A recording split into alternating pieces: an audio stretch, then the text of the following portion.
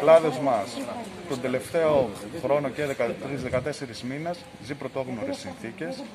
Ε, είμαστε τελευταία τρύπα της φλογέρας. Η κυβέρνηση ουσιαστικά δεν μας βλέπει καθόλου. Έχει, ε, έχει προχωρήσει σε μια σειρά επιδοτήσεων ε, μέσω του Μητρώου Καλλιτεχνών που δεν έχει πιάσει όλο τον κλάδο. Έχει πιάσει ένα μικρό τμήμα γύρω στους 70.000 συναδέλφους χωρίς επιδότηση νοικίου. Αυτή τη στιγμή, Πάσχα 2021, ο καλλιτεχνικός κλάδος έκανε Πάσχα χωρίς επιδότηση. Δεν είχε ούτε για το πασχαλινό τραπέζι. Ζητάμε άμεσα την καταβολή της αποζημίωσης του 534 Μάρτιο-Απρίλιο, μαζί και με την επιδότηση νοικίου.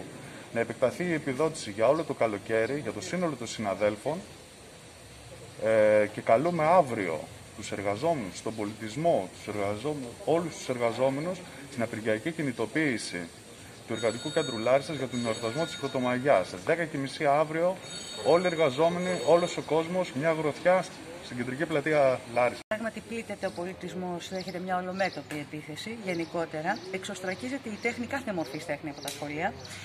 Και υπάρχει ένα δικαστήριο το οποίο στις 13 του μήνα, μετά την προσφυγή του Επιμελητηρίου Κωστικών Τεχνών και της Ένωσης Καθηγητών Καλλιτεχνικών Μαθημάτων στο Συμβούλιο της Επικρατείας, θα εκδικαστεί. Ε, ε, προσδοκούμε την ακύρωση της απόφασης, της υπουργικής απόφασης η οποία αφαίρεσε αυτή τη δυνατότητα των μαθητών να έχουν πρόσβαση στην τέχνη και όχι μόνο γιατί τους χρειάζονται τα μαθήματα αυτά για τις εξετάσεις, δεν είναι εξεταστικός μηχανισμός μόνο το θέμα. Το θέμα είναι ότι η τέχνη είναι γενικότερα δικαίωμα και ανάγκη, επιτακτική ανάγκη. Όμως η τέχνη ε, αφυπνίζει ανθρώπους, διαμορφώνει συνειδήσεις και προσωπικότητες. Οπότε ενδεχομένως η ολομέτωπη αυτή επίθεση την οποία δέχεται να έχει και κάποια σκοπιμότητα. Η μόνη λύση βέβαια είναι οι αγώνες. Εννοείται ότι θα έχουμε και εμείς την ε, δική μας κινητοποίηση αυτοκινητοπομπή που θα διοργανώσουμε ξανά το Σάββατο, το επόμενο Σάββατο στη Λάρισα και ελπίζουμε σε συμμετοχή και περισσότερων ακόμα συναδέλφων και από τους άλλους νομούς, εάν και εφόσον και φαντάζομαι θα επιτρέπεται η μετακίνηση, έτσι ώστε να υψώσουμε τη φωνή μας, διότι χωρίς συλλογικότητα και χωρίς αγώνες, όπως είπα και πριν, δεν γίνεται κάτι. Εδώ και ένα χρόνο και κάτι και τρεις μήνες μας έχουν κλείσει.